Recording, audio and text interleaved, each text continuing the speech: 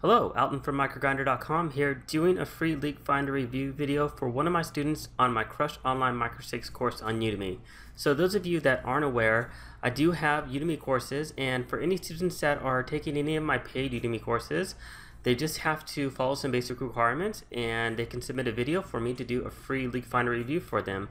And so that's what I'm doing for a student named Dang. He is enrolled in my Crush Online Micro Stakes Poker course. And we're going to do a free 20 minute Leak Finder review video for him. And so let's go ahead and get started.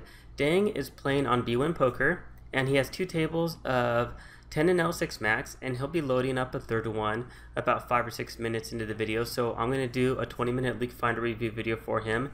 Now for those of you that aren't enrolled in my classes and you're interested in the service or the courses check out the description bar below because I have all the courses listed for 90% off for $5 instead of the regular price price of $49. So let's go ahead and get started and let's start up this video and see how he's doing.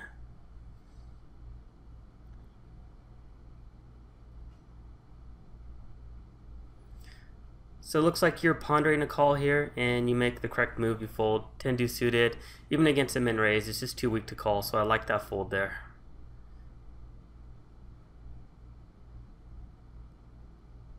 So pocket sevens, interesting spot here. We have four limpers in the pot. I think you can raise or you could just over limp and just limp as well. Um, it's right on the cusp of, of being a value hand where you can raise versus being a hand where you just want to limp in for cheap for set mining. Now I see that you do raise and I think raising's fine.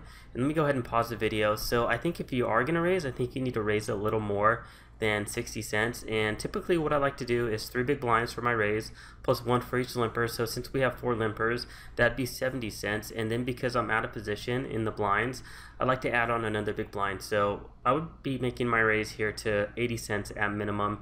And the reason for that is it looks like you're at a table where you're a bunch of the players there. Almost all the players there are probably loose passive fish and some of them are going to be loose passive calling stations so you want to maximize your fold equity because what you're doing is you're not raising it up for value. You're really raising it up trying to take down this dead money in the pot right now by maximizing fold equity. And last thing you want to do is get four callers and be out of position in a bloated pot with a pair of sevens because let's face it, a lot of the flops are really just going to miss your sevens. You're only going to hit your set roughly about one in eight times and so if you're only going to hit your set that often, the rest of the time you're going to be folding because a lot of overcards are going to hit and you're going to end up just check folding a big pot. So that's why I bet a bit more. So interesting spot, we get a limp re-raise here, so a limp 3 bet. Um, and let's go ahead and see what you do.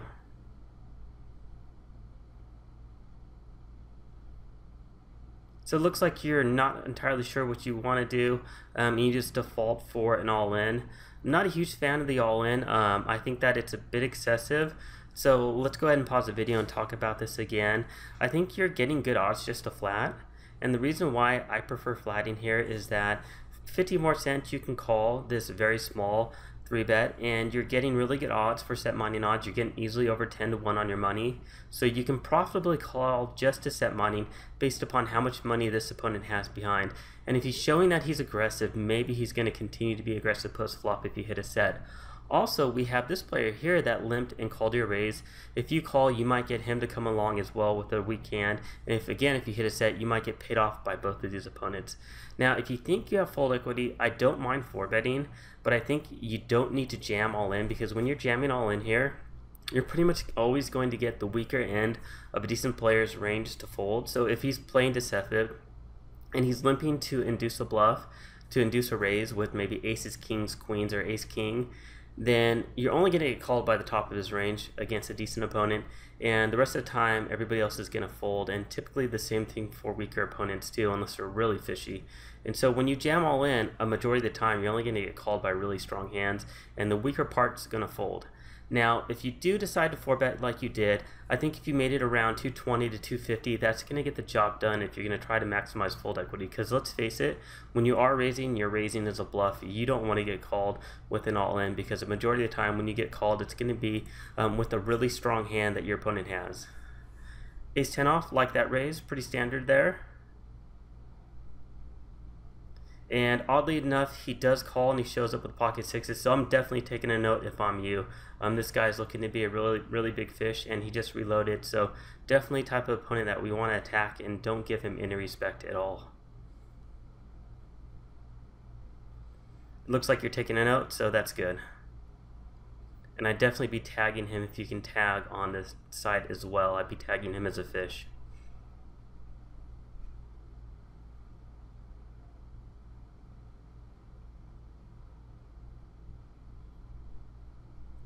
So while there's some dead time, um, for those of you that aren't aware, I do have four poker courses on Udemy. Three of them are paid and one is free. I have a free poker fundamentals course. I have three other paid courses, and the first one is my Crush Online Microstakes course, which is a comprehensive course on beating the microstakes. Another one is Essential Math for No Limit Hold'em, and another one is on developing poker reads um, by table selection, seat selection, and using HUD stats, and also understanding basic player types. And so, you know, if you haven't seen them, check out the promotional codes that I have listed down here in the description bar and go check out the courses.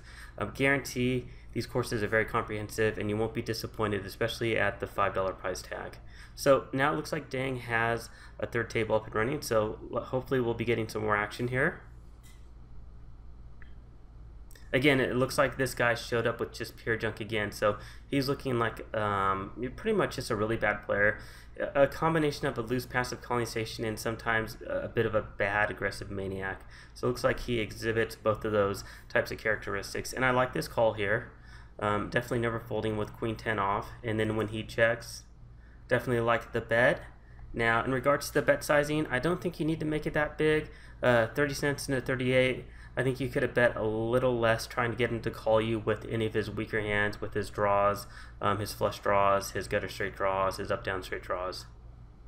So if you bet if you bet a little less, maybe you'll get called by worse and maybe get a little more value. But um, overall, I think the bet sizing is fine. Blind versus blind.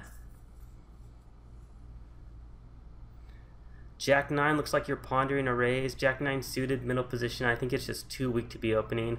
Um, and let me go ahead and pause the video again. So I think it's a bit too weak to be opening. Yes, we do have a fish. A, well, let's just go ahead and call him a whale because he's a whale, not a fish. Um, and we have him in the big blind, but we also have some potentially good opponents, um, you know, directly to our left. We don't know anything about him. He looks like a bit of a fish. Um, this opponent may be a fish as well, but this opponent looks to be um, fairly reggish stats, you know, 29 25. He looks to be a bit of an aggressive lag, so we got to watch out for him, um, you know, three betting us or re isolating, trying to get heads up with this fish. So, in general, I'd be folding this hand. It's just too weak to be opening a middle position, and we're going to find ourselves in a lot of tough spots post flop. 9-6 offsuit. It looks like big blind versus limp button. I like the bet. Middle pair, king's going to be, you know, not in too much of his range. And we do get a call from the small blind. Now, it looks like you're doing a delayed c-bet up here on table 2. So I'm not a huge fan of the delayed c-bet on the turn here because, yes, we did get a fold from this opponent, but a queen is easily in either of their ranges. Um, I don't think either of them are betting a queen on the flop. So when the queen hits the turn, yes, the queen is definitely in the ranges. And also, this opponent's never folding. He's a calling station, so he's going to call you down with any pocket pair, and he's going to call you down with king high. He's going to call you down with a weak ace. He's going to call you down trip queens, and you know any pocket deuces through through pocket whatever that it doesn't hit the board. He's going to call you with as well. So you're never getting him to fold. Like the check down here on table three.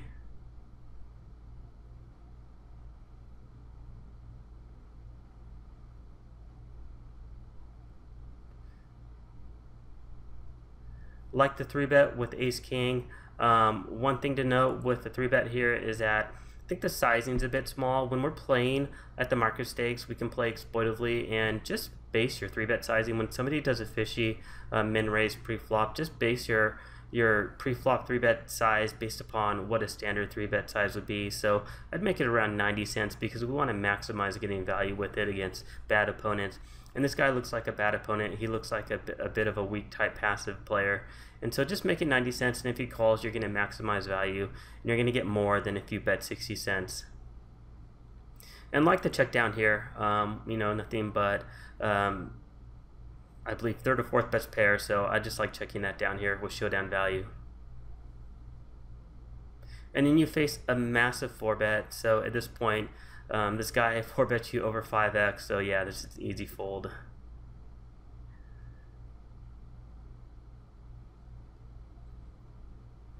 I think a leak that a lot of players have is that they tend to overplay ace king and so a lot of people will say well I 3 bet ace king I can't fold to a 4 bet and so when somebody 4 bets you cold like this opponent did um, lots of times at the micro stakes you're only going to be up against aces kings or queens and when sizing is that large it's probably always aces or kings and so you know you are a 20% favorite, he's an 80% favorite, and you're going to be getting it all in pre-flop as a dog. So like that fold. Uh, 4-6 offsuit, I think you could open, but I think folding is fine as well.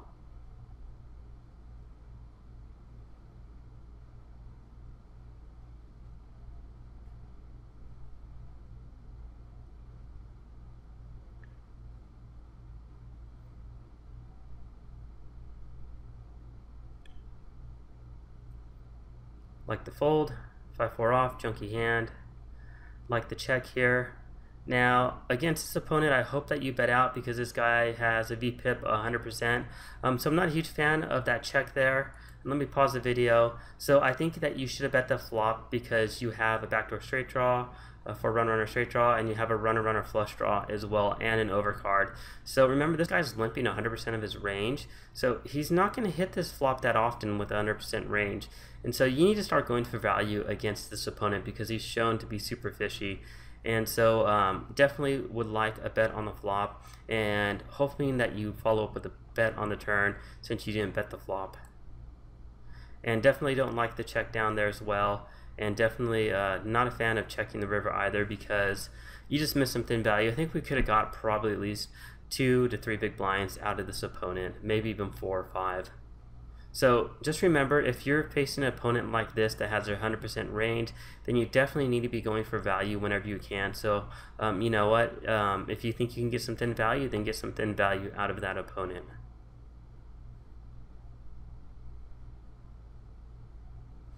like that you're taking a note of this massive 4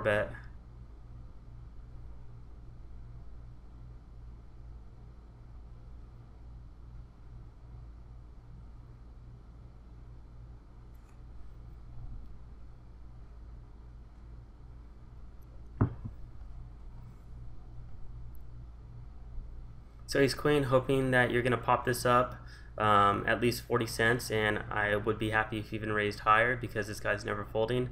I might even make it 60 or 70 cents because he's going to call anything. And we get flat by uh, 50 slash 0 and then we get this opponent calling as well that's really fishy and then he he three bets you here and so um, he limps you raise and he three bets now I'm not a huge fan of flatting here and let's talk about why we need to be raising here. So this guy's shown the ability to 3-bet lightly and 2-bet and 4-bet lightly with a very wide range. So we need to be pumping it up and looking to get it in pre-flop with ace-queen suited against him because you're near the top of your range and you're going to dominate a lot of his range. Um, yes, you could have a pocket pair, but he could also have a lot of weaker hands as well. So I personally like seeing that he only has 521 behind and that he called your jam earlier when there was only 110 in the pot and you made it 10 he called with pocket sixes there. I like just jamming all in here. Um, i don't mind these opponents folding because when they fold we increase our equity. When they stay in the pot we decrease our equity because our equity share decreases with more people in the pot. So when we get them to fold we take down an extra 80 cents in the pot that they're folding and we get heads up against this fish. So right here i just like re-raising and getting it all in versus this guy. So either make it around $3 or just jam all in versus him.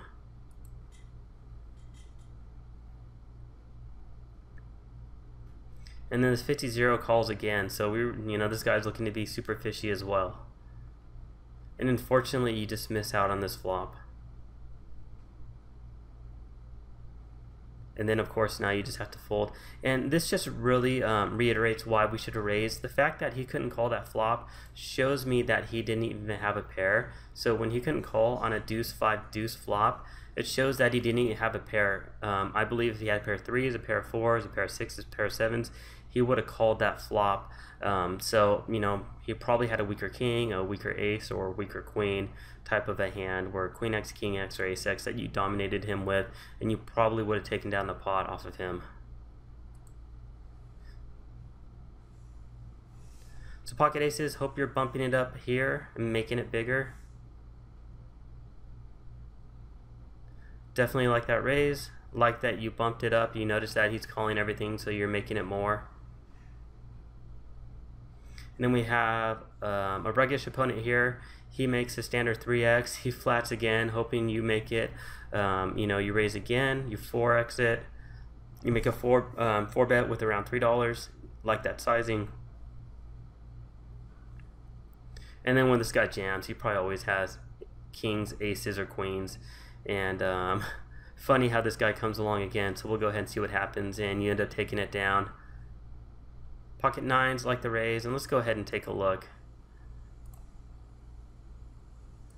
So he ended up having pocket kings, so you coolered him, but again, see this guy was going all in with 10-8 offsuit, so shows the need uh, with our ace-queen hand where we needed to get bumped up against him, but um, good job winning that pot. Always nice to take down a massive pot and cooler somebody.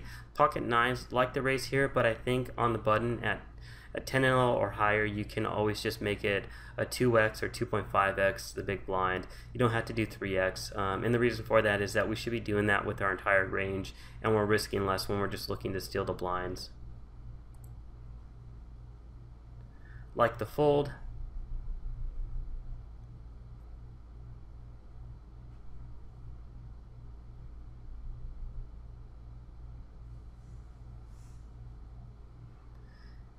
and I like the c-bet. Um, Two-thirds pot looks fine to me. Pretty standard value bet there.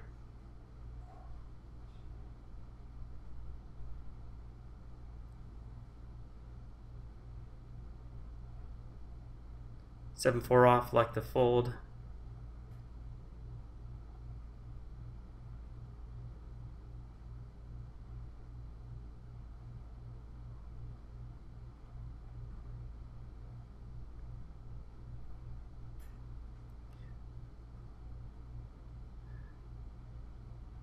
Looks like you're pondering a raise. I'm not a huge fan of raising here. I'm hoping that you just check it. Jack 9 off is just too weak to be raising here, and your bet sizing again is a bit too small. So if we think about it, uh, Jack 9 off is just as a strong hand. Uh, against opponents that are never folding, you have no fold equity, just go ahead and check. Um, and if you are going to raise, you need to make it um, a bit more than that. You have two limpers, so and then you're out of position to one. So I would have probably made it 60 cents myself. But personally, I just would have checked the Jack 9 off. And on this flop, you're pretty much going to be giving up on this hand. Uh, 3 9, flopping two pair, top bottom, hoping that you raise it up because this is a bit, a bit of a wet board texture.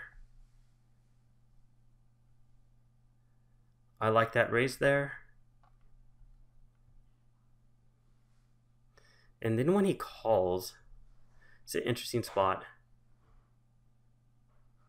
And I like the call with the Queen King against a button range. Here, folding's fine. I think calling's fine as well. I think you're going to chop a lot.